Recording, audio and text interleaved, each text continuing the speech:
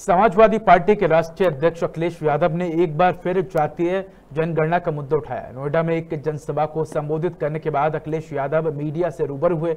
इस दौरान उन्होंने कहा कि जातीय जनगणना आज सबसे ज़्यादा ज़रूरी है। जातीय जनगणना पर छूट भैया नेता ना बोले, अखिलेश यादव ने कहा कि बीजेपी केशव प्रसाद मौर्य को हमेशा आगे करती है।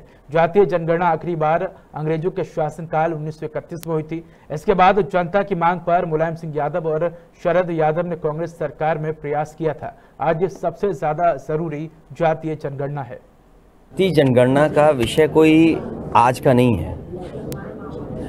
और इनको पीछे मुड़ के देखना चाहिए। एक समय पर जातीय जनगणना देश में हुई थी, ब्रिटिश ब्रिटिश के ज़माने में 1931 और ये लगातार लोकसभा में जब कभी सेंसस की बात हुई है, देश के अलग अलग दलों ने इस बात को उठाया है और कहा कि जाति जनगणना होनी चाहिए। और इधर, अगर आपने देखा होगा, बहुत सारे जागरूक लोग समाज के, वो आगे आए हैं, उन्होंने कहा कि बिना जाति जनगणना के जो हम जनता को सुविधा जो पॉलिसी बनाना चाहते हैं, जो योजनाएँ जारी करना चाहते हैं, उससे मदद नहीं मिल पाएगी।